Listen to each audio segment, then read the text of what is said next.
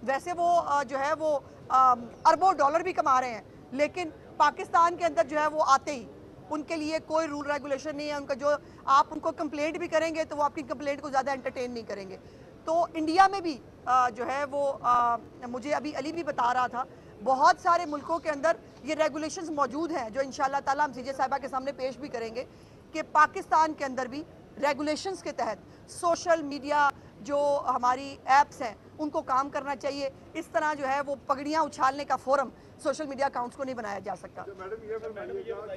आपके केस में ज़्यादा की गई है, उसमें तो कोई भी जीश और आदमी उससे इनकार नहीं कर सकता कि वो ज़्यादा की लेकिन जो सोशल मीडिया को कंट्रोल करने का निज़ाम है, आपको नहीं लगता कि पार्लियामेंटेरियन इस हवाले से आगे आए और एक स्पेशल इस हवाले से अपनी पेश करें ताकि से मंजूर हो देखिए पार्लियामान से भी मंजूर हो सकता है।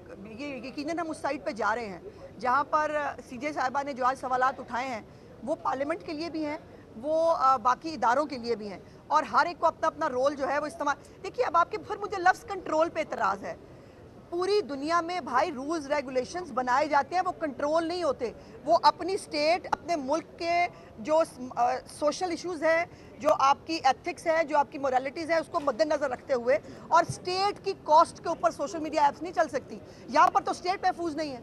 जो कुछ डिजिटल दहशत गर्दी इन सोशल मीडिया अकाउंट्स के ज़रिए हो रही है कि आप पूरी दुनिया में अलाउ की जा सकते हैं? हमें बहुत सारे मुल्क जो है, जो अमेरिका है, लंदन है, ये बाकी मुल्क हमें बताते हैं इजहार राय की आज़ादी है जी। आप फंडामेंटल राइट्स को वायलेट ना करें। मेरा सवाल है कि जब कैपिटल हिल के ऊपर हमला होता है, तब समरी ट्रायल करके सिर्फ़ वो शख्स जो स्पीकर नैन्सी पलोसी की चेयर के ऊपर जो है वो टांगे रख के बैठता है, उसको सात साल की कैद दी जाती है।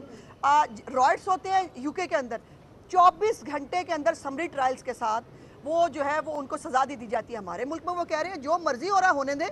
ऐसे नहीं हो सकता। आपके मुल्क के लिए, आपके लिए, मुझे कोई जो आज ओवरसीज में बैठ के, जो इनकलाबी बने हुए हैं, वो इनकलाबी जिस जिस मुल्क में बैठे हैं, उस मुल्क के खिलाफ पोस्ट करके दिखाएँ।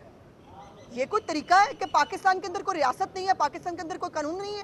कि पाकिस्तान की रियासत को, पाकिस्तान के इदारों को आप जो मर्ज़ी कह लेंगे, और आप डिजिटल दहशतगर्दी बाहर से बैठ के करेंगे, और आपको यहाँ पर सपोर्ट किया जाएगा? ये नहीं चलेगा, और ऐसे कोई रियासत नहीं चलती।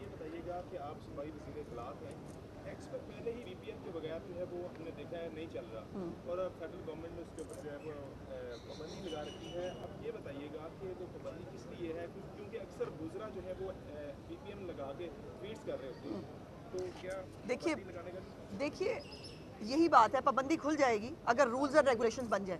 जिसकी तरफ़ हम जाना शुरू हो गए हैं। ये बगैर रूल्स रेगुलेशन की पाबंदी लगेगी।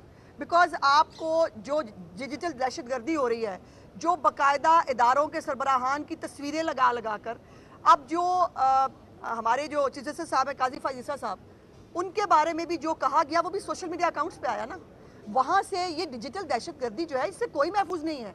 एक्स को जो है मैं समझती हूँ कि जिस तरफ़ हम जाना शुरू हुए हैं मेरे केस के ज़रिए अगर रूल्स एंड रेगुलेशंस बन जाएँगे तो एक्स के ऊपर पाबंदी ख़त्म हो जाएगी लेकिन रूल्स रेगुलेशंस के बगैर कोई सोशल मीडिया साइट जो है वो नहीं चल सकती और ना चलनी चाहिए।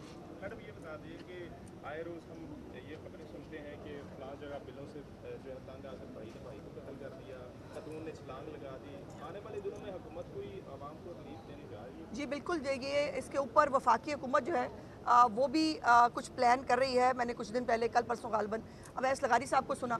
आ, वो भी बता रहे थे कि जो प्राइम मिनिस्टर साहब हैं वो इसके ऊपर बहुत कंसर्न हैं। उन्होंने वो भी मुख्तलिफ़ चीज़ों पर काम कर रहे हैं और चीफ मिनिस्टर साहिबा जो हैं उनका सोलर प्रोग्राम है ही बाकायदा इस हवाले से कि वो लोअर मिडिल क्लास ख़ास तौर पर जो 100 से 200 यूनिट वाले हैं, उनको तो free of cost solar panels मिलेंगे।